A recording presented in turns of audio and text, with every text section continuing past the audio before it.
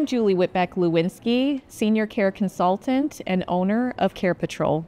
I have a background as an occupational therapist and worked in many different settings throughout the years. I would work with families and seniors to determine what level of care was appropriate for them, but didn't really realize what that meant going out there in the real world and what options were truly available for them, and saw the challenges that they faced I subsequently also saw those same challenges with family members and loved ones that were going through the same sort of thing, looking for transitions of care. And I knew that there had to be a better way to help to support people in our community to find that right care.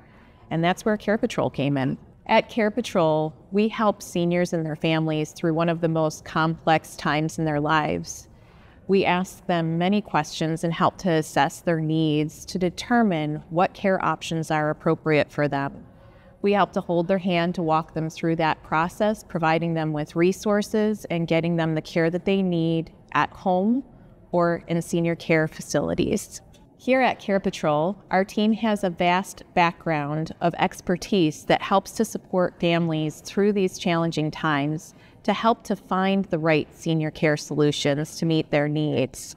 We use our background in healthcare, legal, senior care advisement, senior living, social work, and more to support your needs at all levels. Our experience comes at no cost to you.